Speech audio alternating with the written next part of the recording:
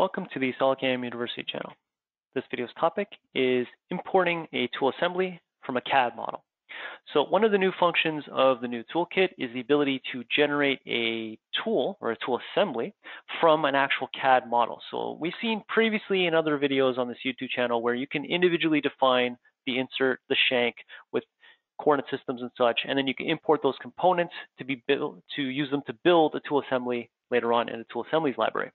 Uh, one of the functions we'll show in this video here is if I just open up a quick library, so new tool library, and we'll go right to the tool assemblies because we are looking at a tool assembly on screen. Let's see if we can use that. Uh, so first thing I always recommend is let's just save this. So we'll just call this for the video. Okay, so normally what we would do is we would go to import from tool assemblies to a tool components and then build those assemblies from those components. I'm going to jump to this icon here, import tool assembly from CAD. This is going to take a look at the active SolidWorks assembly we have in the background and pull the items from there and build those components for me. Um, and the way that works is basically click on it.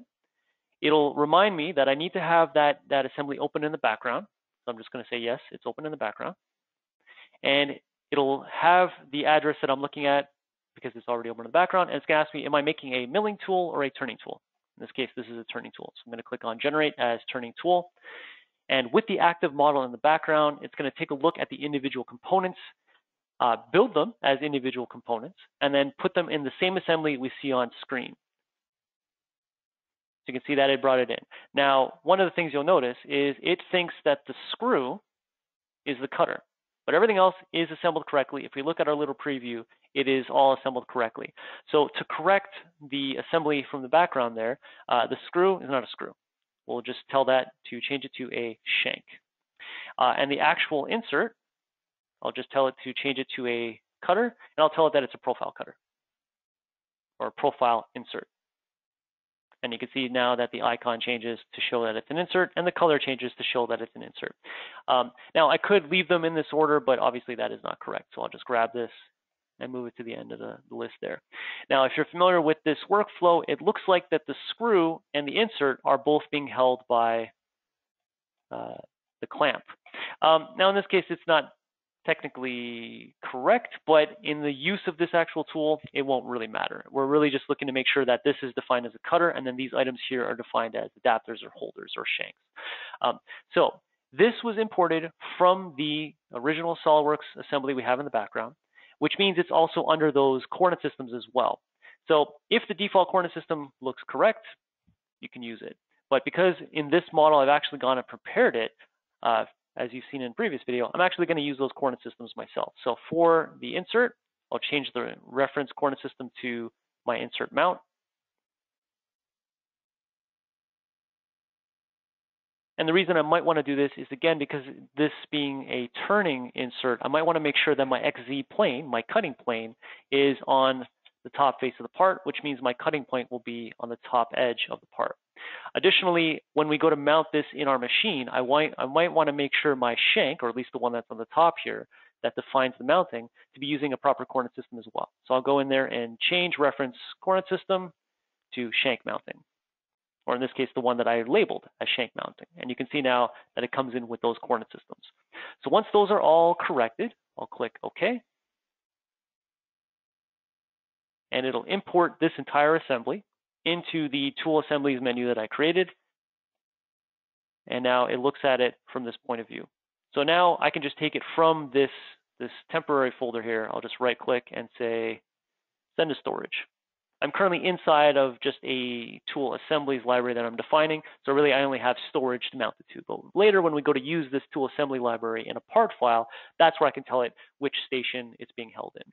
But it imported it with all those components in the proper hierarchy. And this one is now recognized as a turning insert.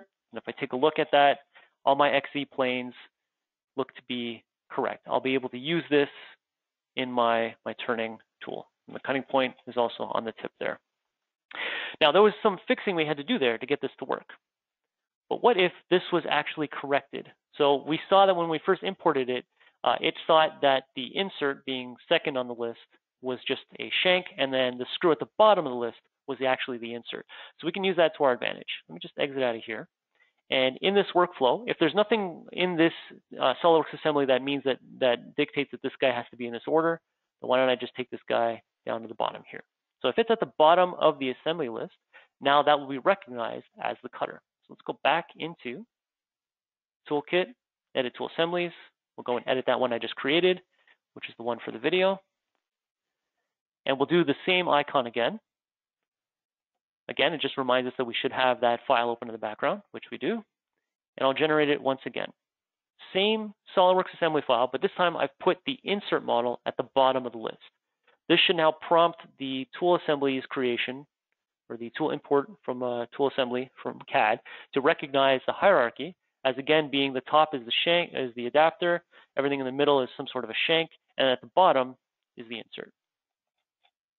So that saves you having to change it to an insert of any type or, what, or whatnot. Uh, the only thing left is, again, those same corrections. We can just give it a insert mount for that one. We can tell it that the adapter is mounted under my shank.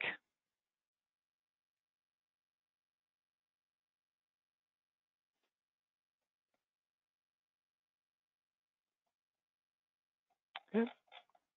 So that should be good. Click OK.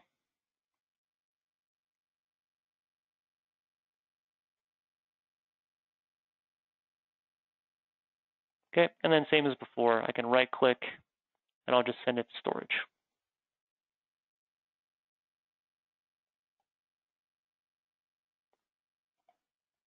And it imports it directly from there. Okay, so as soon as you have a SOLIDWORKS assembly with all the components already listed, with the insert at the bottom, or in this case, overall, the cutter that you like to define or be recognized as a cutter at the bottom of the assembly, it should import here. Uh, you could put in your own coordinate systems here to fully lock in exactly how you like this to be defined. And then you can import right from a CAD assembly model into a tool assemblies model. Any questions of this or anything else from SolidCAM, just give us a call at 1-866-975-1115, extension 2. You can send us your parts or your questions via the ticket system at solidcamsupport.com, and stay tuned for the rest of the videos on this YouTube channel. Thanks for watching.